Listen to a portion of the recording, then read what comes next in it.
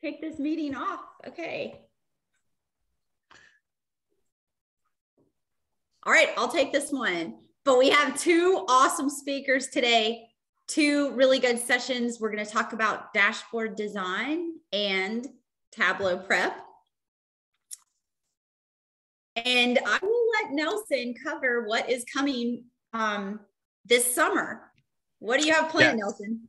So we're super excited to announce a date, uh, not necessarily location, not a lot of details, but um, we are going to uh, be helping to host a big in-person gathering. Um, we're gonna be working with Libby Adams, who is a co-founder of Alteryx, um, and she and the team at Alteryx are going to be hosting a Tableau and Alteryx Better Together big blowout in-person party uh, on July the 12th. Uh, it will be here in Atlanta. Uh, so uh, great opportunity for you to meet uh, like uh, an amazing woman who's done amazing things in the space today and technology, co-founder of Alteryx. Um, we got to talk with her about a month back and she's just phenomenal. So she's going to be there. Um, we're all going to be there. It's going to be amazing. You don't want to miss it. Um, it's going to be absolutely fantastic. Um, hoping to have you know many hundreds of folks. We're going to have a fantastic venue.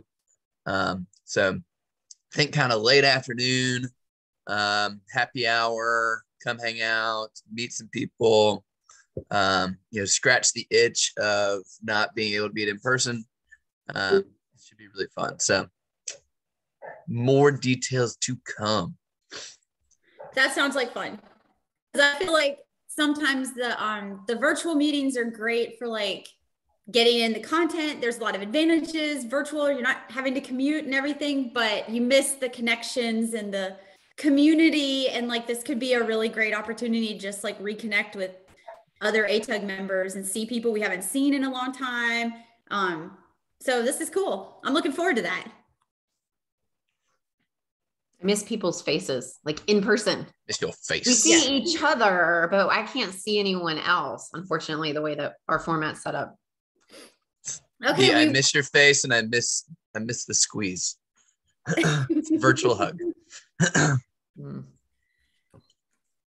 So this slide was a prompt for us to go ahead and ask everyone um, if you're looking for a a job, if you have a job um, that you've posted at your company, if you're looking to hire someone, it would be a great chance to just put something in the chat.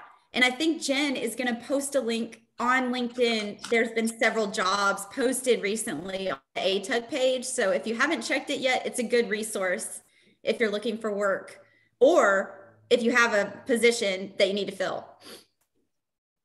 Yes, lots of movement of good people around analysts. Yep. It's a hot, hot job demand. market right now, isn't it? Yeah.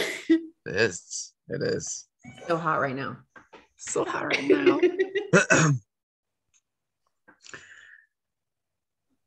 so we got to say big congratulations to Juana. Oh, big congrats.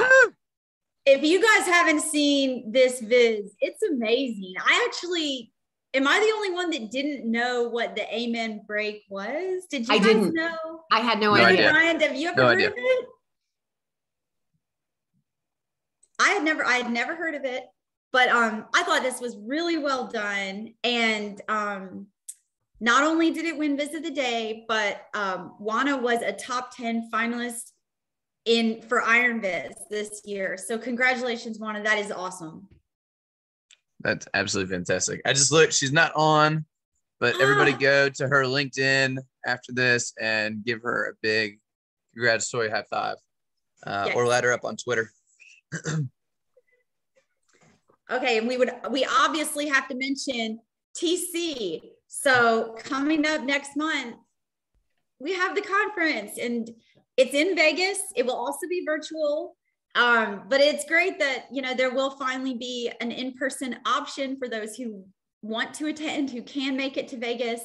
It's going to be a much smaller conference, but um, but some of us will will be out there. Make sure you post in the chat if if you're planning to attend or if you're going to watch virtually. Um, here are a list of the community speakers, and Jared is listed on here. Jared, do you want to mention what your session is? Yeah. So uh, late last year and early this year, I did 100 days of the Preppin' Data challenges. And so my session is going to be about um, what Preppin' Data is, how the challenges come about, and then my experience going through the 100 days and what I learned. Oh, that sounds cool. Can't wait. You're you're totally amazing. Every time I think about that, I get shivers. yeah, all of the sessions are now online. So they're out there. You can't completely build your schedule. It not all of the times are out there, but you can get a really good, all the details are are online. And the Vizzies will mm. also be a part of TC this year. So um, there is a survey um, that you can take, just like a Google form, and you can nominate others like all across the Tableau community for things like best viz of the year, um, hackiest. I mean, there's just like all these different categories.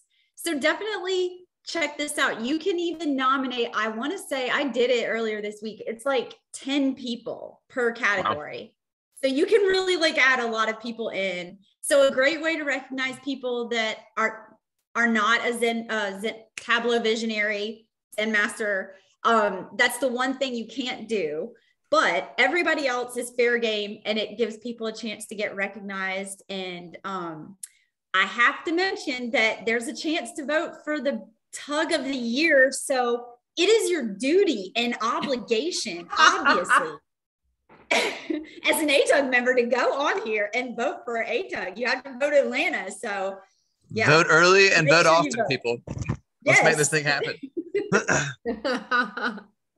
it is the last question, so we must uh, finish the drill in order to get there. That's right. Who else is going to get that? Can't, I can't fathom that anybody else is mentioned in that. we should be like the 11 time winner of that award. I agree. I agree. Yeah, we are very humble here in Atlanta. um, so y'all, so many good things happening. As we've uh, just mentioned you know you've got uh, the next kind of uh, opportunity is may in person or virtual for the tableau conference. So we're going to skip that month. Uh, we will be back uh, virtually uh, in june so that's the 16th um, we had already said we were not going to do like a, a tug um, of sorts like a normal tug in july. Um, but the opportunity now to do the in-person event with Alteryx. Um, so everybody's invited. Invite your friends. Should be awesome. We'll get back to things in August. Um, and we were anticipating the conference to be in November, and so that's why there's nothing there. Uh, but actually, the kind of December November thing, uh, we just go early December, and that kind of covers both months. So, boom. Exactly. I believe Brian will be going first as our very first speaker. Um, Brian works for Central Garden and Pet. He is the director of sales and business performance there. Brian, would you like to tell a little about yourself? And I'll let you share your screen as well. Thank you for uh, being uh, here. Sure, yeah. Yeah, thanks, Karen. Uh, thanks for having me. Thanks, uh, ATUG, for having me here. I'm super excited to uh, to share some uh, dashboard design tips with you today. Uh, if you don't mind, I'm going to go off of camera while I'm presenting here. It kind of gets distracting for me to share slides and. Ryan, I respect that brave well. shirt you got going on there, buddy. That's fantastic. Hey, you got it. All right, world champions. World champions. All right. Can you see my slides just fine? We got you. Looks great. We can. All right. Great. So um, you know, I, am here to talk about not the not the latest trends in dashboard designs. I'm not going to tell you the the uh, beauty that you can have through long form or the aesthetic profiles of dark dashboards. I want to I want to show you the most basic tips that I possibly can. And you know, Alto Tableau is my favorite platform for dashboarding. This talk is not tailored for any specific software. Actually, I only mentioned Tableau again specifically a few times later in the presentation. Uh, the concepts here apply pretty much universally to any analytical platform. These are kind of things to, uh, to consider and apply for as long as you continue building dashboards. So a quick look at our topics. Uh, after a brief introduction to Central and myself, uh, we will talk through consideration of these uh, three broad dashboard design uh, concepts. uh, inverted pyramid, intentional choices, prioritizing simplicity, and last I'll share some resources. So first, quick introduction to Central Garden and Pet. Um, you're a market leader in the lawn and garden and pet industries. Uh, we bring to market dozens of brands, some of which you may have heard of before. Uh, corporate headquarters is in Walnut Creek, uh, California. I work in the garden segment, which is based here in Atlanta and which represented about two-fifths of the company's revenue uh, in our last fiscal year. Uh, as mentioned, I work for the garden segment. These are uh, most of our major brands represented on screen here. Pet segment, Kaytee, Nylabone, Four Paws, and Zilla are just a few of our pet brands you might recognize. So I encourage you to visit central.com to learn more about the company and our family of brands if you're interested. And a little bit about myself. Um, I'm Brian Ellyson. You can find me on the Twitter and Tableau Public at BizGuyBry. I'll tell you right now, though, my portfolio has been, um, I've been out there a while to admire and learn from others' work, but haven't really taken uh, the leap yet to grow my own public presence. Uh, next month, I'll be celebrating uh, 11 years with Central Garden and Pet, uh, but I've got over 20 years of diverse analytical experience in uh, banking, retail, and consumer goods uh, across a variety of business functions, including marketing, sales, and executive support, finance, compensation, and operations. Uh, from the beginning, I've been keenly interested in things that make one report easier to understand than another, one chart more effective than another, or one analysis more compelling than another. Uh, many of these things are considered universal best practices within the field of study called information design. Uh, Wikipedia defines information design as the practice of presenting information in a way that fosters an efficient and effective understanding of the information. But my real passion, the reason why I come to work every day, my two teenagers, and then Dylan, you can see us there on the right, uh, enjoying the sunset from top of the Empire State Building a uh, week before Christmas last year. And not only am I a Central Garden and Pet employee, I'm also a consumer. There in the middle, see my garden uh, ready for the spring season this year. And on the left are my two cats, Ash and Cole. I love putting quotes into my presentations. I think so many people have said things better before. Well, I try to restate it. When it comes to information design, this is probably my favorite quote of all time on the screen. Eight words and it says it all. I really wasn't familiar with Hans Hofmann until finding this quote. Uh, if you're not familiar, he's a German American painter regarded as one of the most influential art teachers of the 20th century. Uh, he established the first modern school of art anywhere. His work both preceded and influenced abstract expressionism, the first specifically American art movement to achieve international influence and put New York City at the center of the Western art world instead of Paris. Now, why am I starting with a quote from artist? Well, I know many of you are already aware of the secret link that exists between art and dashboards, and some of you may be surprised to learn what I'm about to share. So what is it that artists want to be understood? What is the one essential thing that all artists want to be understood of their work? What same thing do you and I want our dashboard viewers to understand? One basic element exists in all forms of art, from paintings to music and theater. That same element you will always find in a well-designed dashboard, and it's telling a story. Uh, humans have been telling stories for thousands of years. There are many tried and true frameworks you can leverage to tell your stories but for dashboards, I have found uh, a majority of the time, one storytelling model uh, works better than the rest. That is the inverted pyramid. Now, if you ever took uh, intro to journalism or uh, mass communications class, you probably learned about the inverted pyramid. It is the classic news story model uh, key here is to know your audience so you can lay out the information in a way that is more interesting. And it breaks down like this. Basically, the headline or your summary is 100% of your audience. Those are the people who stop to read your article. Uh, and in the biz, they call this bottom line up front. You put the, the who, what, where, when, why up front so people can walk away after reading that initial paragraph and get the main gist of the story. That's the headline, the summary let's say maybe 50% of your audience is more interested and they want to go on to read more important details about the story. And then maybe even a smaller section of your audience is additionally curious and they want to go on to explore more details of the story, background information, such. That's how the inverted uh, pyramid breaks down. And I mentioned here, key is to know your audience. So we know what information is considered most newsworthy versus uh, backup details and background information? Well, it just so happens that the same exact framework works perfectly for dashboard design as it does for news stories. And again, here key is to know your audience. So we put the most important info up front. Uh, this is the most noteworthy information. Here you have no more than five to 10 seconds uh, to get your audience to understanding. This is where emphasis plays a key.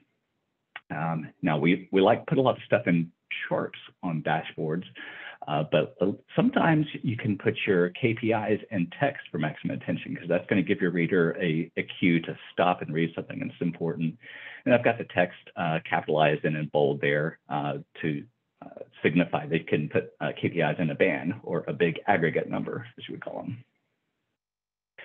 next, you details, your secondary information, charts highlighting your most relevant trends and breakouts. This is where you can help build your flow to have the reader know that uh, these are backup details, uh, any kind of time frame breakouts or business units breakouts they want to give. And then tertiary information, uh, this is for people uh, who want to drill down further and explore, uh, product managers to see how their individual product is doing, or sales managers drilling down to a sales story territory. Um, you know, putting this tertiary information one or two clicks away uh, can help obscure your headlines, or you can actually um, put some of this information in tooltips as well. Key here is prioritizing and arranging metrics logically. moving on to the next quote. Um, Edward Tufte, uh, also known as ET, is the sagely prophet who uh, in the early 80s captured and condensed some of the most important foundational concepts on effectively displaying quantitative information. Uh, Tufte is responsible for introducing several data visualization innovations, including the Sparkline and Small Multiple. Both were designed to help the viewer understand a large amount of data by maximizing data to ink ratio, one of his most key concepts basically boils down like this. The, the, proportion of ink that is used to present actual data compared to the total amount of ink or pixels used into the entire display. Basically, don't put a bunch of ink out there that isn't portraying data. This, this quote speaks to me because I think many times the failure of design is that it simply isn't considered. Um, and if you don't intentionally consider design, your information does risk being confused and cluttered. So this takes me to the tip of making intentional choices. Now, even if you're working with a software program that is uh, designed to consider best practices, default options usually need tweaks. Uh, don't expect default options to tell your story best. Things like uh, color, value precision, fonts, and grid lines can make a difference. Uh, become familiar and implement best practices. When I think of best practices, I think of three groups. Um, cardinal rules, design guidelines, and stylistic preferences. Cardinal rules are things that, um, for the most part, you generally do not want to break these rules. Things like uh, limited exception line charts are only used for time series data, or don't truncate the x-axis of a bar chart. Those are cardinal rules. Uh, design guidelines are things like, you know, what's the limit on how many widgets to put on a dashboard? You know, somewhere between five and seven. How many lines you want a line chart? You know, somewhere around four or five. Um, those are more kind of guidelines. You could stretch them if you need to. And the last is stylistic preferences. These are things like font choices, color choices, and spacing. Uh, these are more things about preference, what kind of style you develop over time. Uh, and to help direct your reader's emphasis, uh, what what should get their attention in the flow or how the user should ingest your dashboard, uh, keep, in, keep in mind these three practices. Um, so for visual purposes, use the best chart types. You will get more mileage from effective use of bars and lines than you will from concepts like packed bubbles and tree maps. Uh, layout, you want to usually follow left to right, top to bottom, uh, F or Z uh, flow is the most common. And be sure that you're grouping or rel related or relevant data so your uh, user's eyes are not bouncing all around the page. And the lastly, um, use text sparingly. Uh, titles, tables, legends, labels, axes, and headings all add to your user's cognitive load. So you want to think about optimizing uh, your data to ink ratio and leveraging things like a dual purpose title, right? You can include a color legend within the title. And something that I, I've noticed occurs regularly is be mindful of value precision. You know, keep in mind, do you need one decimal points, two decimal points? Um, especially on an axis, if your axis is showing uh, a number like 40%, 50%, 60%, there is no need to have a 40.0%, 50.0% on axis. Um, those small differences can really make it uh, make a difference in your cognitive load.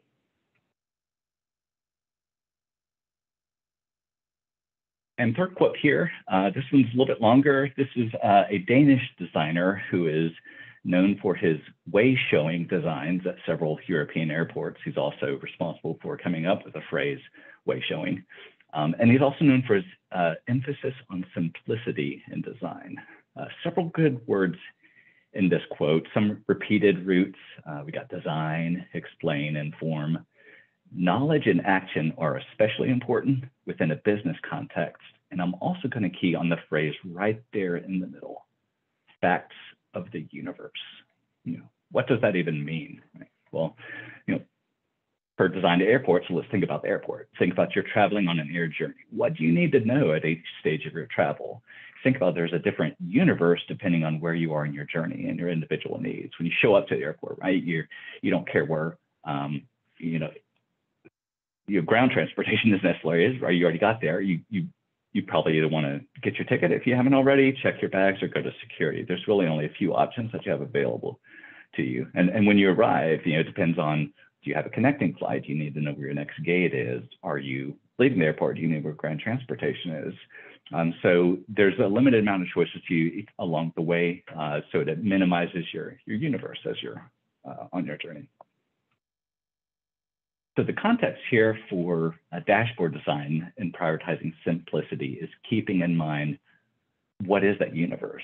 And, and for dashboard, the universe is what question are you answering? Every good dashboard is designed to answer a question. Uh, and it's a, it's a fine balance to provide uh, the user's context without including too much. So constantly ask yourself, what in other information do users need? Uh, the goal is simplicity, uh, embracing the concept of less is more, and, and, best practice is usually to reduce if possible, and always making sure that you're you're using the right format. You is a, a chart better versus a table, etc. And there's essentially three types of dashboards that you can create. Uh, strategic dashboards track uh, KPIs or key performance indicators. Uh, analytical dashboards process data to identify trends and operational dashboards tell you what is happening now. Uh, and if you try to cross streams between these three, that's when you can get into a little bit of trouble and have, um, you know, some people call it a kitchen sink dashboard. It's everything thrown in there. Um, so focus on uh, what question you're trying to answer and what type of dashboard is it that you're building, strategic, analytical, or operational. lastly, I'll close with a few resources. As I mentioned, uh, uh, let's say Tableau again a few times. Uh, one of the best resources I've found is the Tableau community, uh, whether you're talking about Tableau user groups or uh, finding inspirational work out on Tableau Public. The, the entire Tableau community is a great source for uh, resource for dashboard design. And I've got a few books listed here. Um, big fan of books, although there's a lot of material out on the web. I feel that a you know published, peer-reviewed um, hard copy book offers a lot more solid advice sometimes than a, than a fly-by-night kind of blog. But uh, these are a few, few of my favorites up here. None of these books are specific to any particular software, but I've got Tufte mentioned again. He's I probably consider him the, the godfather of uh, data visualization. Uh, he's published this and this and several subsequently beautifully done books. Uh, shown here was that first one to really pull together what works well universally into one reference material. Uh, Stephen Few, uh, also another innovator, he introduced the bullet graph uh, and has also published several great books, including two editions of the one I've got listed here. And lastly, uh, Cole Nussbaumer Knaflic, Storytelling with Data. Uh, that book focuses entirely on best practices for presenting data to tell stories. It shares an excellent understanding of why good visualizations matter so much and how to use them uh, to compel telling, uh, to tell compelling stories that demand action. And she also published a workbook to accompany the main volume. and if nothing else, you can do a quick search on dashboard design principles and find an, an ever never ending list of blogs or videos that can help guide you on the way. And that's all I had from my presentation today. So with that, I'll say thank you and open it back to the floor. That was awesome. Uh, Thank you, Brian. there were, I I feel like there were tons of like, uh, just really good practical pieces in there. Um, And I love the resources at the end because I've, I've read several of those books and found them really useful myself. And I feel like people are always looking for like what books to read, what like podcasts to listen to. You pick up a lot just looking at what other people have done and suggestions people have. So yeah, absolutely. And if anybody ever has a chance to meet Cole uh, Nussbaumer Knaflic, uh, she's phenomenal. Um, the other two are not as good in person, uh, but uh, she's fantastic. right. Yeah, one of those two can be critical with feedback, I think, right? I think they can both be fairly critical. but yes, uh, yeah. does no, anyone anyone have any questions for Brian? I'm looking at the Q and A.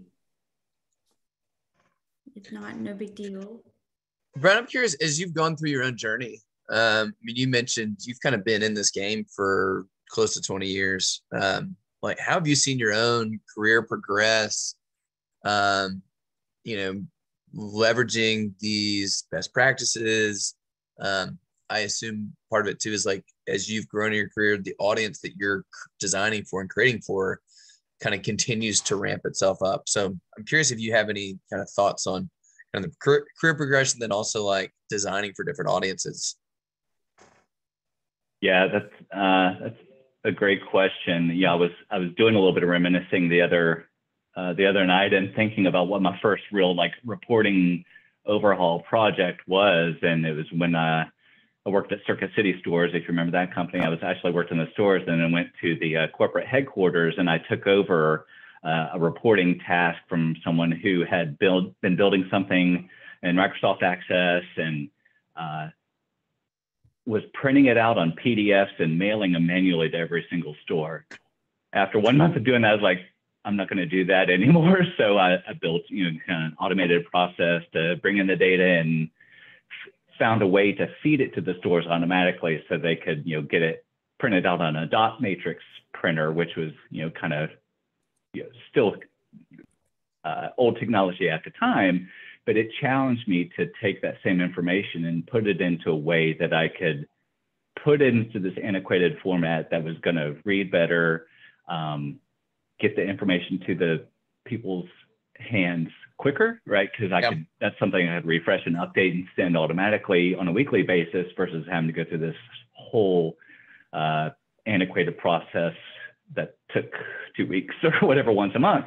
Uh, so it, it, it really kind of opened my eyes to how data in the hands of the people that need it quickly in a format that makes sense to them can, can make a difference. And, and everything really did just snowball from there in my career, career progression. And, and things have changed so much since then. I mean, talk about trying to force an access report into a dot matrix printer now to building Viz in tooltips kind of stuff. Uh, you know, it's, it's, it's really fun to look back and see how far things have, have progressed. But yeah, the uh, the user audience has definitely become more um, uh, sophisticated along the, the way as well, and demanding uh, even quicker information, even more actionable insights. Uh, so it's just uh, you tightened up the whole um, beginning to end spectrum from when you the, the data gets registered when you're putting in into use for for business purposes. That's awesome.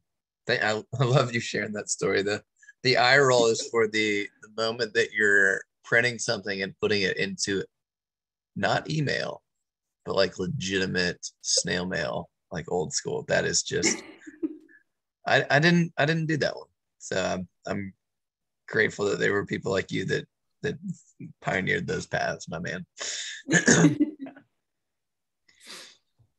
Thank you again. A again. long time ago. And we, Well, yeah. Yeah, thanks for having me. we, Appreciate we it. all hope we're not going back to those days anytime soon. Yeah, Oh. seriously.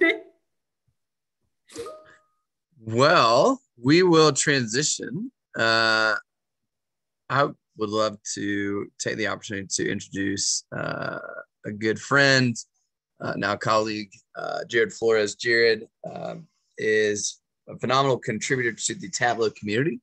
Um, he has jumped in and done some amazing work in Tableau prep. Um, super humble guy. Um, but loves to just share the wealth of information that he has in this space. And so it's an honor and privilege for us to have him with us today. Jared uh, resides in Dallas, Texas. Um, and uh, Jared, we're, we're pumped to have you. Uh, feel free to, to pump the cookie company while you're here as well. Yeah, yeah, pumped to be here. Um, talk about Tableau Prep. Uh, yeah, as Nelson mentioned, uh, my wife started a cookie company uh, here locally. Um, you know, we're looking into the option of shipping, but yeah, uh, Official Good Dough is our There you company. go.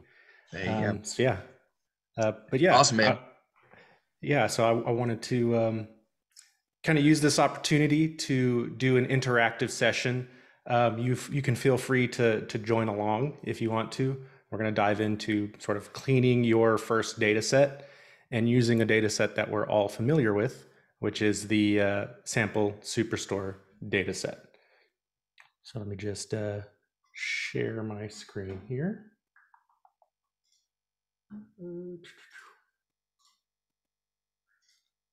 All right. Um, so if you want to follow along or just kind of want to take a look at what I'm doing, when you open up Tableau Prep, and I'll go ahead and do it real quick, um, there is this sample flow down here, this superstore flow. So all you need to do is open it up and then Control A and delete everything because we're essentially just going to rebuild this flow, um, but we're going to do it a little bit better than they've done it because we're we're awesome like that.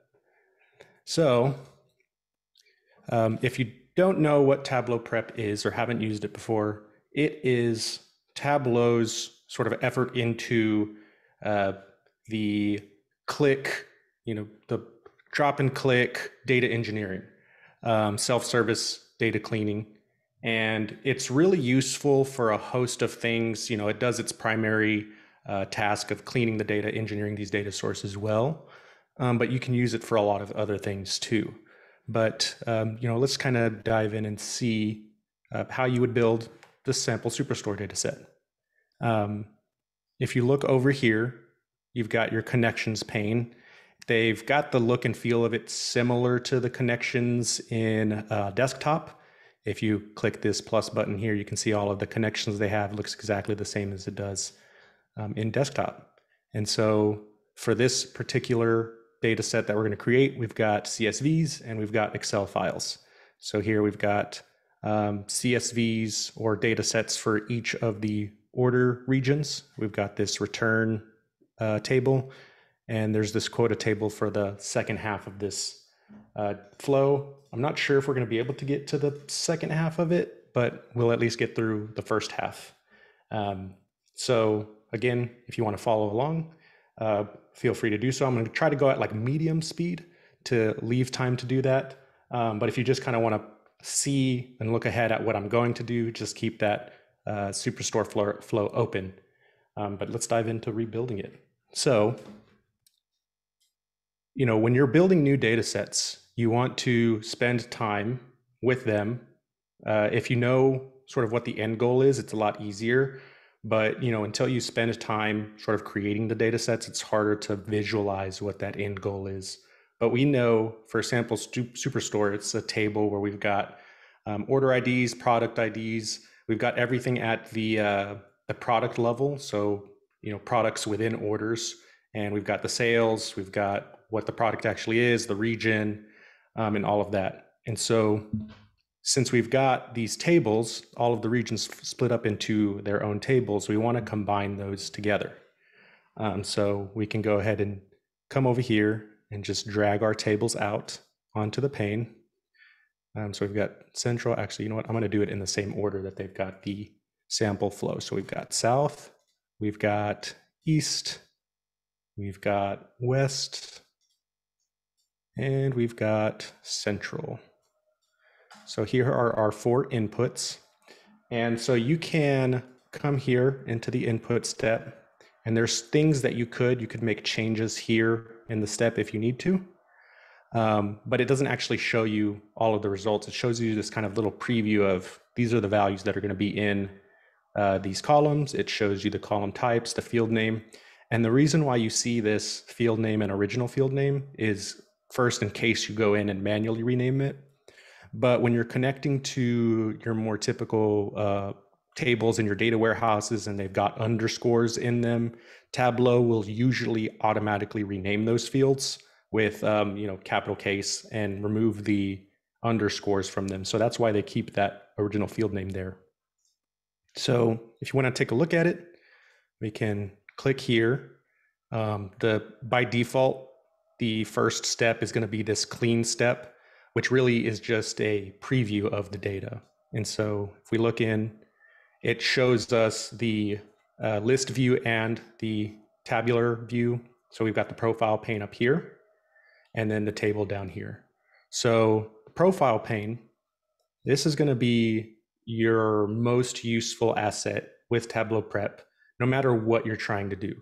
Because if you've looked at the tables before or you've looked at reports with your data before and you kind of have a feel for this is normally where values fall within, uh, that's what this pane does. It shows you a distribution of the values. So for the quantity field, since this is a number, it's showing a distribution of how many records are falling within this range of values. Um, and then what it's even more useful for is for your string values like these, it shows you how many times that value is appearing in the data set. So let's say over here for order ID, um, if this was something that I knew this needs to be a one for one, um, and I was going through creating my flow, this, and I've, I've got, you know, this has one row, this has two rows. So it very quickly, you can identify duplicate records and start trying to narrow that down. Um, now, if you look at the flow the way that Tableau has it built in the sample, you'll see that they've gone in and excluded nulls from the order ID field. Uh, there's a couple ways we can do it, but we'll do it the simple way, which was with the built-in function with these three dots here. There is a filter. I'll come here to null values, and I'll say I want to keep only non-null values. Now, there's no nulls in there currently, but maybe as we're building this out, we're anticipating in the future there might be nulls in there, and we don't want them in the final data set. And then we can come up here and rename this to uh, remove nulls. Sorry, can't see my keyboard. Remove nulls. Now, they don't have descriptions on the sample flow, but I like to add them for every single step because the more detail you add, the easier it is for um, adoption. And if somebody else is going to maintain it in the future, they can jump right in, understand what you were doing and why you were doing it. So we'll say uh, keep, oops, keep only non null uh, records from the order ID field. Boom, there we go. So now it's very clear what this field is doing. Um, I'll move these down. So now um, another thing that we can do just to kind of clean up the flow and keep it nice and clean is we can rename these. So we'll call this orders south and orders east, orders west, west, and order central. And again, this is just to, it's not necessary, but the cleaner your flows are, um, you know, the easier it is to jump back into them and it keeps it more uniform. And so for the east, we can jump in here. Now in the sample flow, what they've done is they've changed the discount type.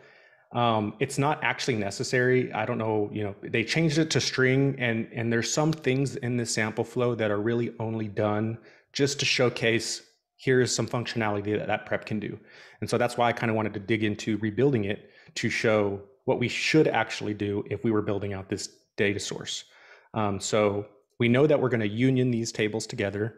And in order to do that, we want our field types to be the same.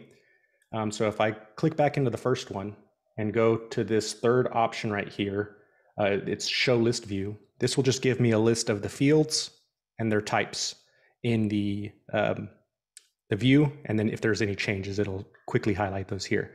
But for discount, discount is a number, decimal number. That makes sense. So it should stay the same in this flow. Um, now sales, it's a string. And so if we look back at our profile, if I come over here, I can see that sales has these USD uh, string values in there. We don't want that. Um, but again, prep makes this very easy to clean. I can click on these three dots, go to clean, remove letters. And so now all of the letters have been removed. And if you wanted to see what that prep actually did, you can come over here, click on the edit button, and this is the calculation that it used. So it's just uh, regular expression replace. Uh, so you could manually type it out if that's faster for you and you know what you're doing as you get more familiar with it. Um, so it's always interesting to kind of get under the hood and see what prep did, but you can just click on that little menu function and it's there.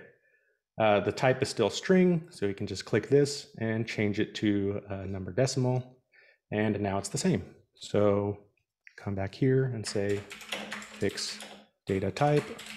And again, um, move letters from the sales field and change to number type. Boom. All right, now let's go to West. So for West, in the sample flow, you can see that they've renamed the states, but in the actual changes pane, it says the values were grouped.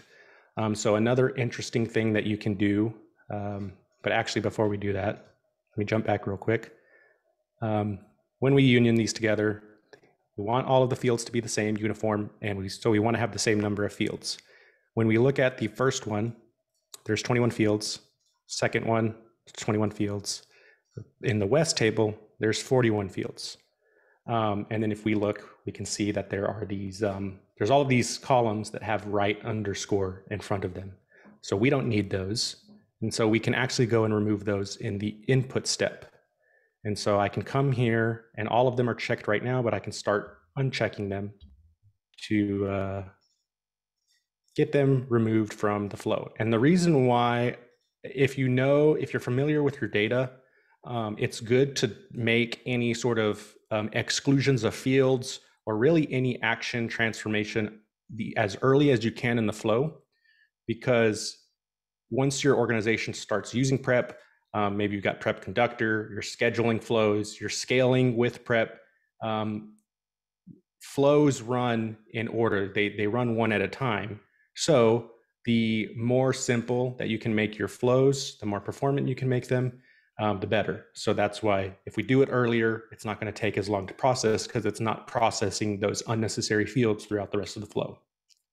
So cool. We've um, removed those fields. Now, if I go back here, uh, cool. We've got 21 fields. Okay. Now we can go to the state renaming. So if I come over here to the right, the state field, it's got state abbreviations. Um, but if we go back up to the first two, the East and the South sales, states are listed here with the full state name. Prep makes this super easy. Instead of having to do a really long if or case statement of if it's this abbreviation, do the full name, I can actually just come over here to the state field and just replace the name. So I can call that Arizona. So this makes it very easy and simple to um, replace these values. And so if there are situations where values are going to come in one way um, and you know you, we need to do a substitution for that, um, and it's always going to be that substitution, this is a real quick way to fix that. So type those here.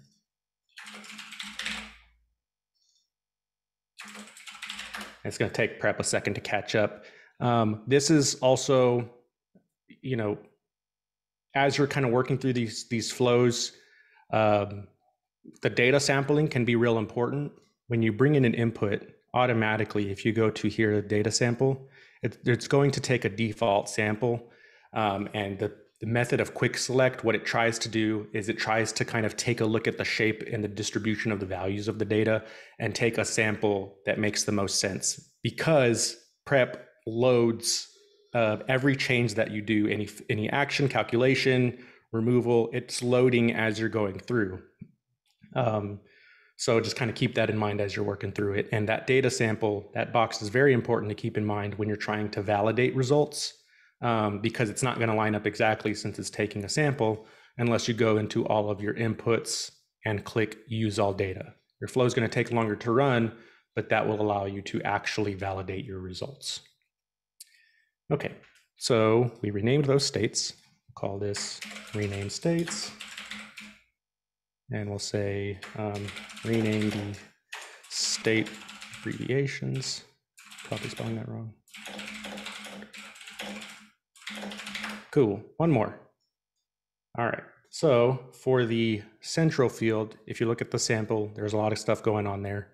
Um, but really, when we look at the uh, rows, there's 24 fields here, so there's some extra fields. Um, and when we look, we've got this order year, month, day, and ship year, month, day instead of an order date and a ship date field. So if we go back to this one, there is an order date field and a ship date field. Now in the sample, what they've done is they've turned each of those fields into a string. So they make one string calculation and wrap the order, the month, and the day in a string, and then add the uh, slash mark in between. So they create the uh, the string field first, and I'll actually copy and paste that over here so we can see what that looks like. So this is what is in the sample. So they first, they say, hey, we'll make this an order date. Cool. And now we've got this um, order date field. It's a string value. We can change the type to date. So that's the way it's done in the sample. But really, the more um, efficient way to do this is to use the make date function. So we can come in here and say make date. And we've got our order year.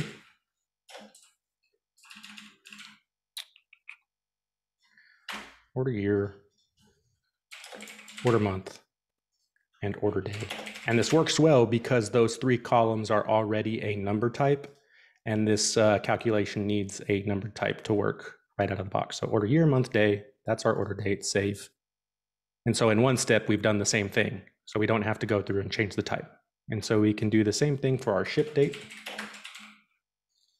And we'll say make date, uh, order year, oops, order month, and order day. Oops, ship, sorry. Ship year. Ship month. And ship day. All right, so there is our ship date and our order date fields. So now that those are created, um, we don't really need the uh, extra fields anymore. So we can come over here, go click control and click these six fields because we don't need them. Come up here, remove fields. Boom. So those have been removed from the flow. Um, if we take a look at our list view, let's make sure on types.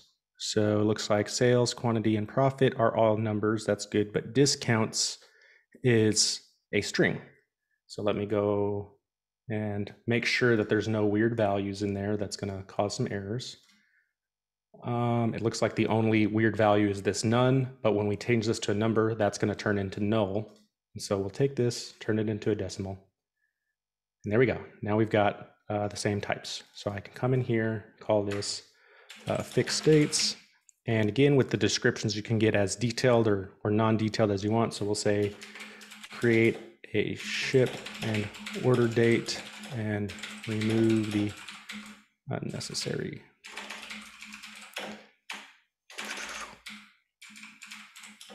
Oops. And then uh, change discount to number. I believe one of these fields is also named incorrectly. Um, yeah, so the product field and the first three tables, it is called product name. And so we want to match that up. And so let's call this, actually, you know what? We can take a preview at something real quick before we rename that. Um, let's do our union. So we can click here and you can either add the union step this way, or when you drag this on, it'll ask you if you want to join or union. So we'll do union. Um, I'm also particular about the shape of my flows. You don't have to be. And so we can just drag all of those to our union. And now when we click on it, it's going to immediately highlight here are fields that are mismatched. And so for discount, it looks like in the first three tables, it's matching up, but for the last table, um, it's actually called discounts. And then same for product. It was fine in the first three, but in the last one, it's called product. So we need to change that to product name. And then there is no region field in the last table. So real quick, we can come in here, say region, and we know this is coming from the central region. So we can just call this central as a text value, save. And we can come over here um, and we can do we can do it this way where we come in here and we rename the field here, which is probably the cleaner way to do it. Um, but then if we come here, we know that discount and discounts are the same field. And so we could uh, come over here and click the two fields and merge them. And they should merge as discount. Yep, there we go. Um, so either way works. Uh, it's probably better practice to make sure that your names are lining up, but that's again the usefulness of prep. It's going to highlight all of these things really quickly for you. So we'll call this uh, orders or all orders. Oh, let's call it orders. Cool. Description, union, all order tables together. Um, so next, there is a join happening to the returns table. So if we come here, here's our returns input. Let's drag that in. And it dropped down here. So I'll drag this up here real quick and we'll name it the same, returns all. And then when we look uh, in the sample, they only included a few fields here. So just um, order ID, product ID, um, return reason, and notes. I believe those are the four fields. Yeah. So um, let's go into our clean. And what's happening in the sample is these notes are formatted as the reason first, then this hyphen, then the approver. And so to split those, there's a really easy function here. If it's up here, you can see automatic and custom split. And so we'll do custom split. We'll split on that hyphen. And then I want the, there could be more hyphens in there um, that I don't want to include. And so we'll just say I want the first two splits. So what that's going to do is it's going to give me the result, the string that comes before that hyphen and the string that comes after it. So, and then you can see here, if you want to pop the hood, uh, there is, it's just the trim and split function. And so it's just splitting it on that character and then trimming any extra leading or, or um, following spaces off of it. Um, and so we've got that split. And so now we can rename this field approver and we can rename this field return notes.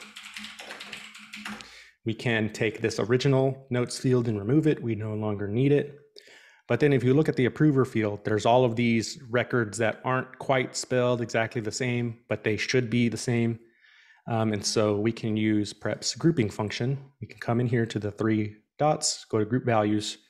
Um, and I think we'll have the most success if we group them on spelling since they're so close in spelling. So we'll click that and boom, there you go. You can click in each one. It'll show you which of the values fell within the grouping. So nice and easy. We don't have to do any calculation. And you can also decrease or increase the strength of how it's processing those. Um, so if you've got some really crazy spellings or numbers or some stuff happening in there, you might need to increase the strength. But if you increase it too much, it's going to start really kind of stretching on how it's grouping those values. So you can kind of play with that. And then you can also, if you needed to, manually include other records um, that need to be in there. So we've grouped. We'll call this uh, split and group. Uh, split the notes field and group all names to remove duplicates. Perfect. And so now, if you look at the sample flow, um, the join that's happening is highlighted as a right join. That's what that Venn diagram is. So since the right side is filled in with color, that's a right join. Um, but I typically like to flow. This is you know more of a personal preference, really, but I like to f- make sense of my flow. And so here are my inputs. They're all coming together here, and I want them to continue with that flow. This is my main table. Orders is my main table. So really, ideally, I would like it to be um, on the left side, just because that makes you know more sense as it's flowing through. So I'm going to take this and I'm going to drag it on And so now orders is going to be on the left side. If I come in here, so orders is on the left and the split in group is on the right because I took that um, this orange pill and I joined it to the orders table. So that's why it put this one on the left and this one to the right. And so we want to do a left join. Um, also, just a real quick overview of the join types. You've got standard inner join, standard left, standard right. Got full outer, but then a uh, very useful one is you can do not inner. Um, so this will highlight here are all of the records that don't match um, on both sides, or you can do um, left only. So we're going to join on these, and any records that match are going to be excluded. We only want records records from the left table that don't match the other one. So just a couple of interesting ways to solve some some problems or to clean up your data dynamically um, with these other joins. So, but we want left join, and we want to join on product ID and order ID. And so what this down here is going to show, it's going to show our, our join summary. It's going to show how many rows were included from both tables and then how many were excluded. And so if there was um, a need for all of your rows to match up and you were doing an inner join, for example, and you saw all of these excluded rows, um, you can click on one of them. So we'll go back here real quick and let's click on the 22 excluded rows. And so it's going to bring those up immediately. And so now if I was trying to do some validation and find out why are these not showing up, I can take those and maybe query my database and try to figure out what's going on. Why aren't these joining up? So we will do, call this one uh, orders plus returns. And we'll see, just gonna copy and paste this over for time's sake. All right, so here is our orders and return table. Now in the flow as well, you see this uh, clean two step. And all that's really happening there is there's some fields being removed and renamed. And the reason is because when I come here back into my join step, if I go to list view, uh, we've got the colors here, which represent the color of where they came from. So uh, this uh, teal is coming from the union and this orange is coming from the returns table. And so since we're joining on product ID and order ID, there is this uh, duplicate order ID and product ID coming from the returns table. Now, in the sample flow, uh, the duplicate fields are removed.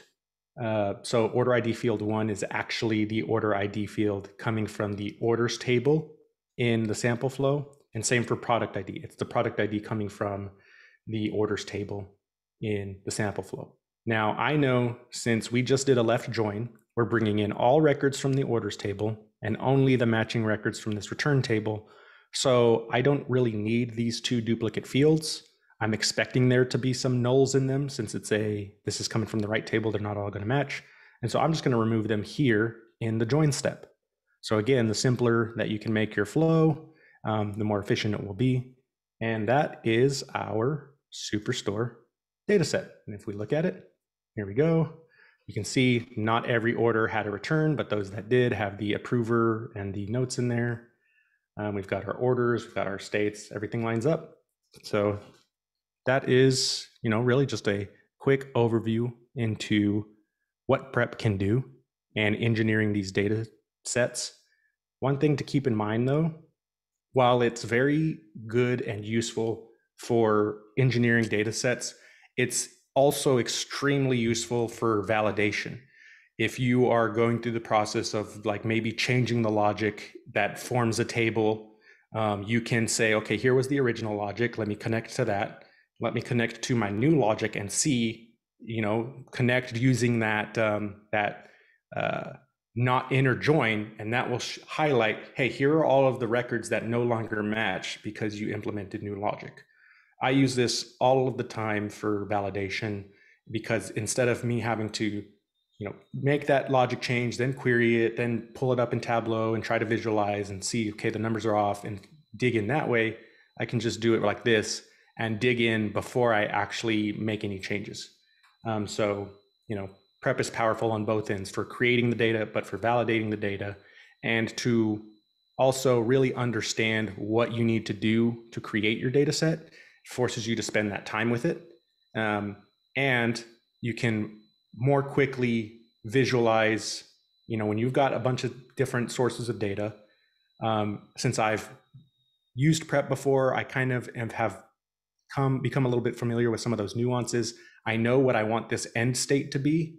And so all of the steps in between are just a matter of getting to that end state.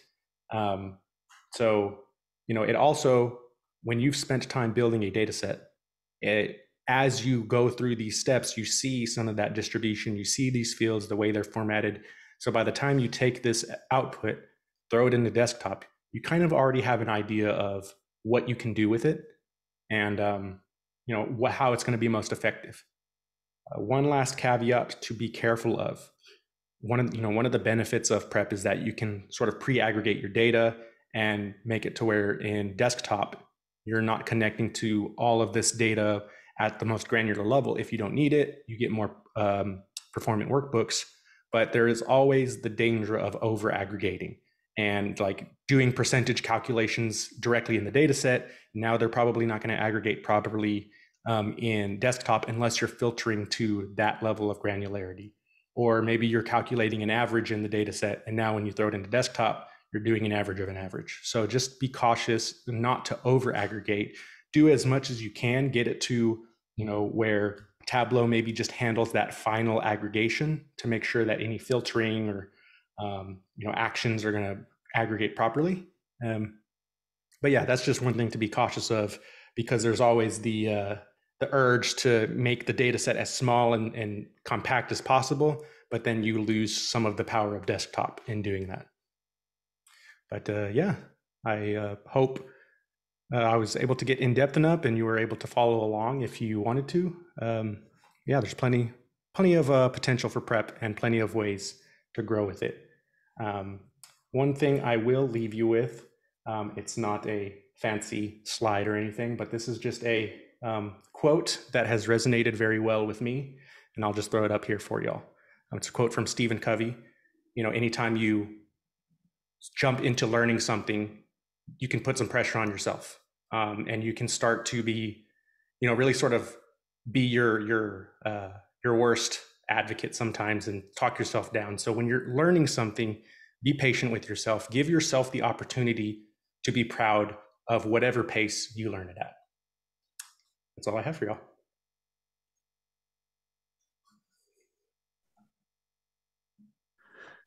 Jay, this is awesome, sorry. man. I I learned a bunch. Yeah, that was awesome. And I love your quote. Yes, it's uh like I said, it's it's definitely one that resonated with me. There was a couple times um, when I did my hundred day challenge where life got busy, and I was like, oh man, I might I might miss a day, and so now it's not technically 100 days, but you know, I, I just started, you know, realizing I'm really doing this for me to learn for me. And so as long as I'm proud of the progress I'm ma- making, that's okay. It's okay that sometimes stuff gets in the way, but I'm still making that effort. I'm not giving up. I'm still learning. Exactly. Love that. So we've got a question for you, Jared, real quick. How does Tableau Prep stack up against other tools like an Alteryx, Airflow, any other tools? Like, how, in your opinion?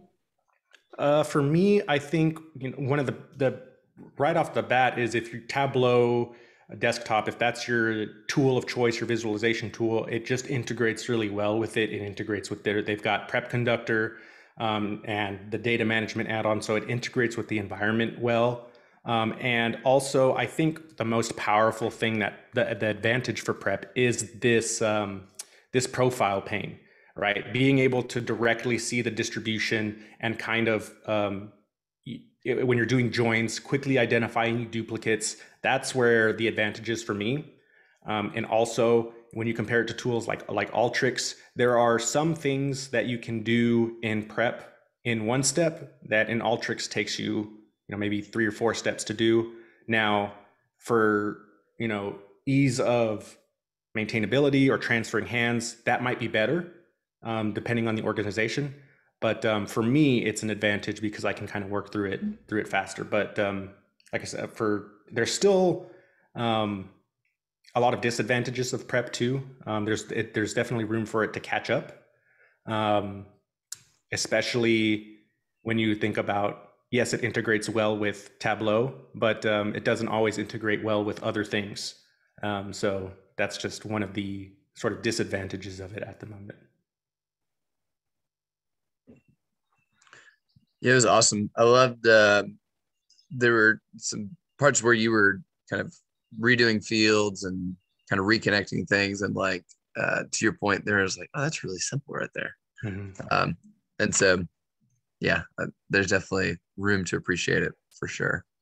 Um, and I think the other thing I would say too is there are definitely use cases I've seen where if the, the transformation is not just like like an enterprise level um, and you're not trying to do things on you know really small headways or or real time um, there's some really nice use cases when you pair prep with uh, tableau conductor um, on the server where it's like you know it's going to run it for you um, and like tableau's ability to um, handle the drivers and stuff like that is uh, it's a lot better than uh, some other tools and whatnot that are out there so there's definitely advantages to be had yeah, and I would say one last advantage as well over maybe some of the other tools is uh, learning curve.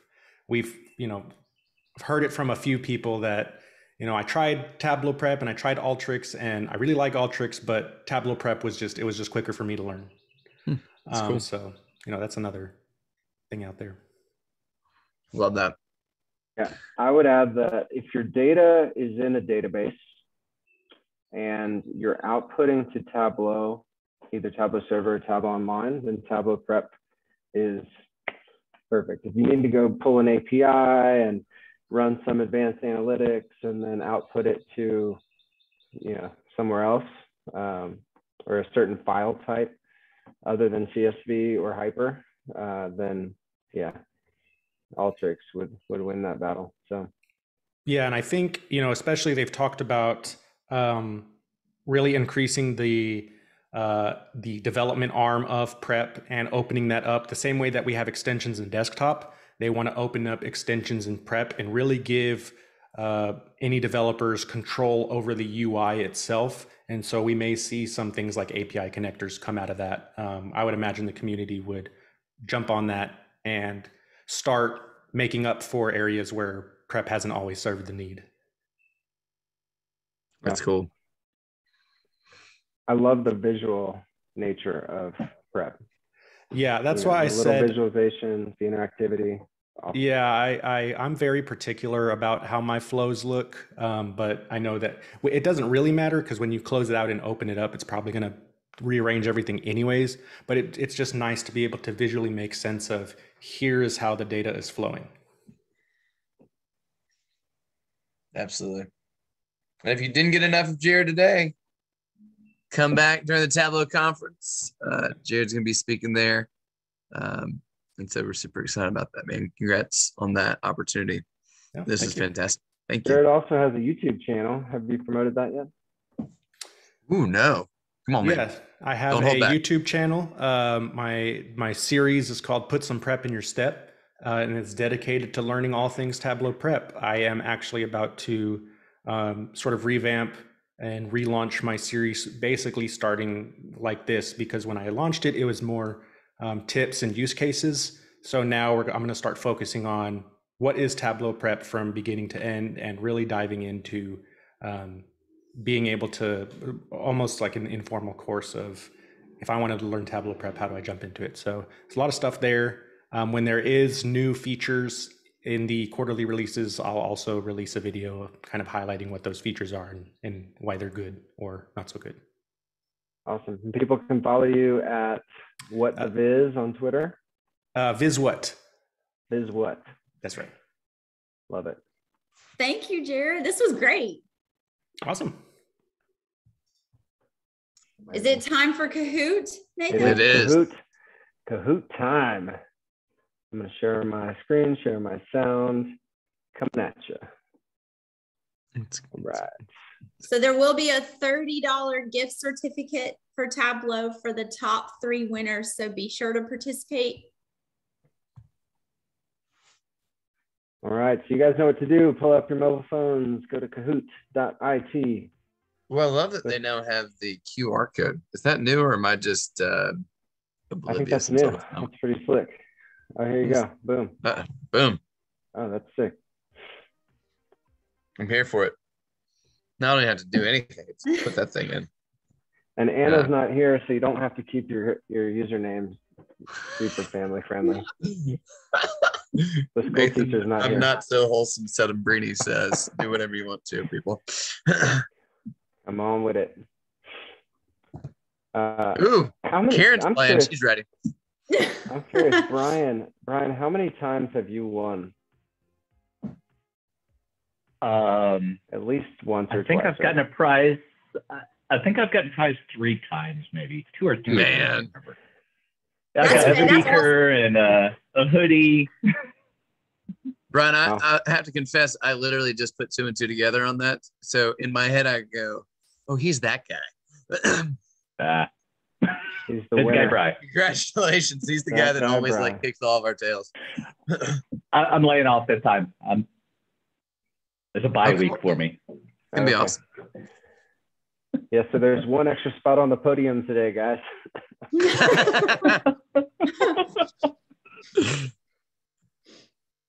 All right.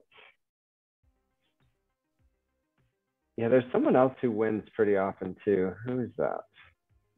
We had that one guy that was from like uh New Zealand or something. Oh yeah, yeah. Remember We him? met at Tableau conference and he kept Met at coming to Tableau? ATAG. Yeah. Forget his name. And we're like, we're not shipping you a shirt halfway across the world, dude. I'm sorry. True story. That would have been like a thousand dollar shipping fee. Ludo. Ludo, that's right. Yeah, that's it. Ludo, if you're on, we love you. We hope to see you at Tableau conference or Inspire, where I'll be, unfortunately. I mean, fortunately. I mean, I don't know. I mean, All right. Well, we got got some people. Looks like half of you are analytic vision. Cool. All right. Last couple seconds to join. We're While we're started. waiting on people to join, there was a message like in the Q and A. Um, I'll drop this in the chat, but there's a oh, the link. job opportunity Yeah, a job opportunity. At the Intercontinental Exchange. Yes. Looks like a pretty cool role. Yeah, so check the chat. We've got a link to the role. Mm-hmm. Um, awesome. All right, well, we can go and get started. Uh, you can join if you're not on. You can join as we go. Uh, here we go. You guys hear the music? Is it loud enough? I No. can hear it. But that's Turn it Very up. quiet. All right, when was the first Tableau conference? What year? hmm, Is that coming through now? Yes. barely. You can turn up more if you want. Oh. Now we're here. All right. What year was it? 2008. Nice. A nice uh, normal distribution of answers. uh, Nelson, where was said 2008 conference? It was in Seattle. Were you there? I was not there though. No. Uh, My first one was 2013. Jen, was Paul Lisborg there? He might have been. I bet you he was. If there's anybody who, who was there, it's either Andy or Paul. I think Andy was there. Dan Murray was there. I know that. That's Yep. awesome. All right, bro, in the lead. All right, number two, the Zen Master title has been changed to something more politically correct. Like the Tableau Pope. That would be perfect. Nailed it.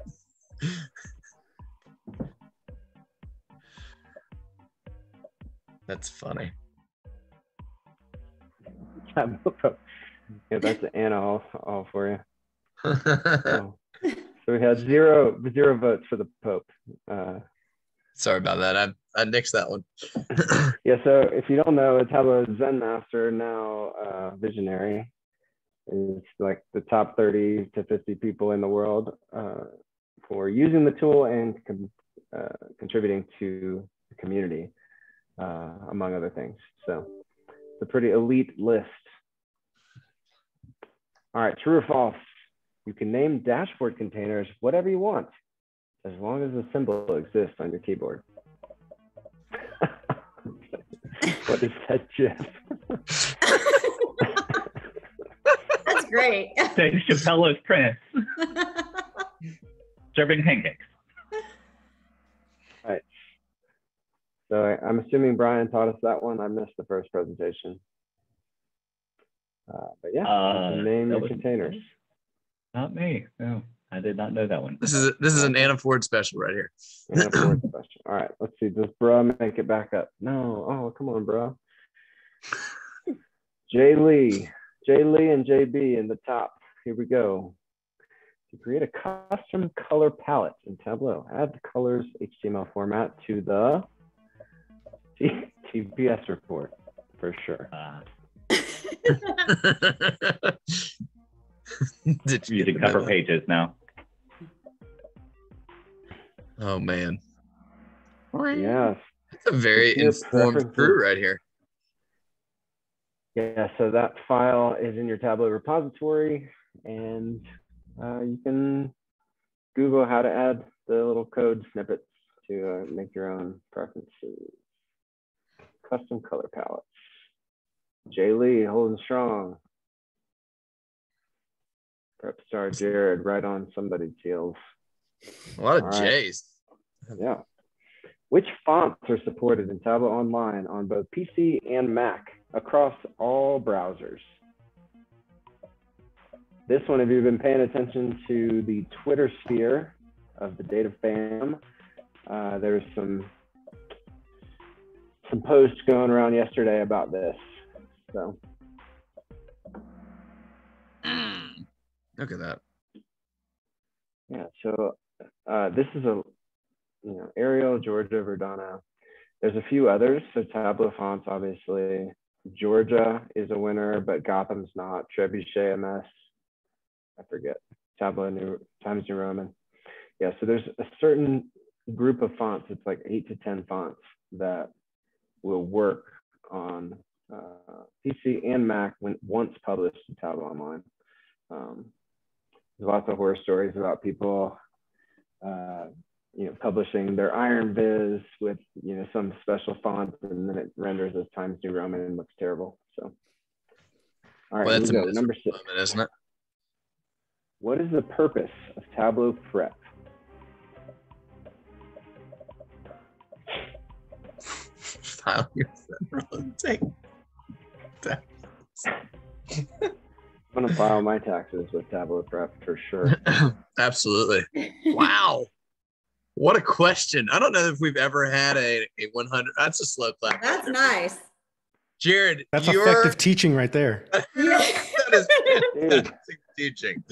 Well done. Well done. jared you get an a plus man good job good job oh look and you made it back And look at my man hopping up. Let's go. Uh, all right, here we go. Here we go. Two more questions to get on the podium. What do you need in order to share and manage data flows at scale? Do you need the prep pipe, the prep caboose, the prep engine, Mm, prep conductor? prep engine would, would be a good one from a naming. I don't know about prep caboose kind of coming in at the end there. Yeah, nobody bit that one. Exactly. Prep conductor.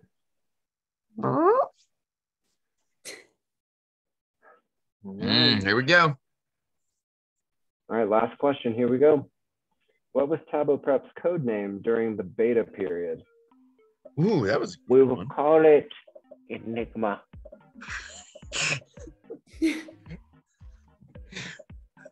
could have called it data laser. Data laser. I guess if everyone answers, it just goes ahead and ends it. That's awesome. All right. You are correct. Project Maestro. Well, here we go. Oh, we win. JB. JB. And the winner, Jay Lee. All right, guys. oh, some runners at Prep Star and Bigger. Good old Matt Bigger. All right, guys. Uh, if you And we do need we need JB, emails for the winners. Yes. Send your email address to the hosts and presenters in the chat, please. And that's it for me. Thanks for job joining as always. everyone. And thank you guys. Thanks, Brian and Jared. You guys were awesome. Thank you. Thanks Yeah. for having me. Hey, Yeah. y'all go ahead and uh, mark your calendars. Uh, Tableau conference, uh, be there or be virtual. Uh, and then July 12th. Uh, somebody check me on this. I think it's a Tuesday. Um, so go ahead and put that on the calendar. Uh, either you can call in sick. Uh, I wouldn't advise that. Don't do that. Um, or just tell your people that you're going to go see human beings face to face. It's going to be fantastic. Um, and so make that thing happen. Uh, so All right, and just so so everyone's aware, the winner was JLE. That's James Emery. So congrats. Ooh. Excellent. James Emery. Dude, it's good to hear from you, buddy. Uh, love that. I need JB's email so we can send you some money. Yeah, we can't turn we can't turn this thing off until we get J JB's email. Um, yeah, I think that's all we got. We'll hang out for a minute um, if you have any questions. But um, thanks as always for joining us this afternoon. Big thank you to Jim Lisborg and Anna Ford, uh, Karen, Nathan, and to our presenters Brian and Jared. Um, who always helps us out with the AV stuff, getting stuff posted up to uh, LinkedIn. Um, and if you need us, hit us up on Slack. I think it's still rocking and roll.